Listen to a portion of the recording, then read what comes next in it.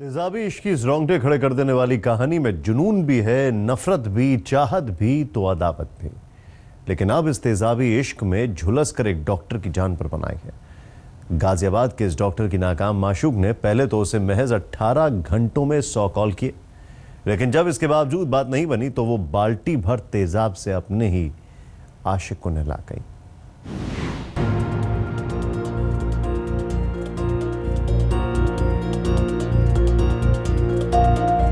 गाजियाबाद के इस pet clinic में मोहब्बत की ऐसी सूरत दिखाई देगी। ये किसी ने कभी ख्वाबों में भी नहीं सोचा था।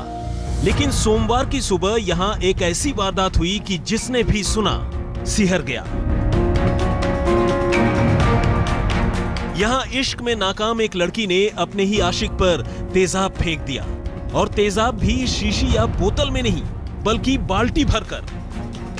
ऐसे में अगर ये कहें कि लड़की ने अपने ही आशिक को तेजाब से नहला दिया तो भी ये गलत नहीं होगा।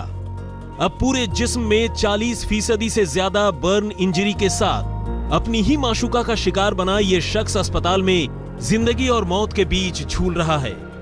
डॉक्टरों को डर है कि कहीं इस तेजाबी हमले का शिकार बने शख्स के आँखों की रोशनी ही न चली जाए। तेजाबी इश्क की खौफनाक कहानी। आशिक को तेजाब से नहला गई माशूक। वारदात से पहले लड़की ने किए सौ कॉल। जख्मी आशिक की जान पर बनी। आँखों की रोशनी जाने का भी खतरा। दरअसल अलीगढ़ के रहने वाले 28 साल के अमित वर्मा वेटनरी डॉक्टर यानी पशु चिकित्सक हैं।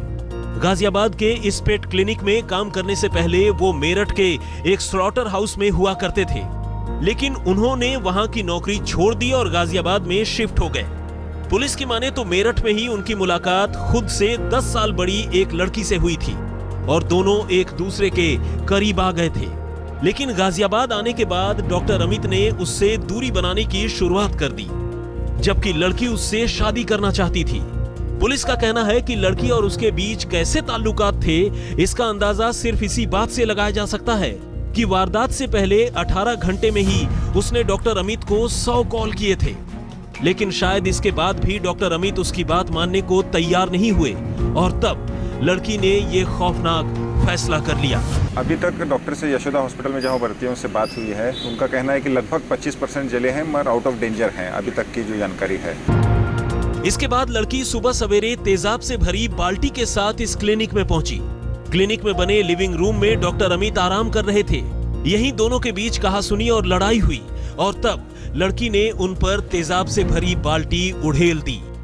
एक साथ इतना सारा तेजाब गिरने से डॉक्टर अमित बुरी तरह झुलस गए। वो दौड़कर कमरे से निकले और सामने लगे कुछ नल खोलकर नीचे लेट गए। इसी बीच लड़की मौके से भाग निकली। बाद में मौके पर पहुँची पुलिस ने डॉक्टर अमित को इलाज के लिए अस्पताल में भर्ती करवाया। हालाँकि डॉक्टरों की माने तो डॉक्टर अमित वर्मा की हालत गंभीर है और उनके आँखों को भी खतरा है। बहुत मुमकिन है कि कल को पुलिस इस हमलावर लड़की को भी दबोच ले। लेकिन डॉक्टर अमित अब शायद ही कभी आम ज़िंदगी जी पाएँगे। सवाल यह है कि सुप्रीम कोर्ट की इतनी पाबंदियों के बावजूद, आखिर वो लड़की इतना सारा तेजाब कहाँ से लेकर आई? और कैसे उसे लेकर क्लिनिक में दाखिल होने में कामयाब हो गई?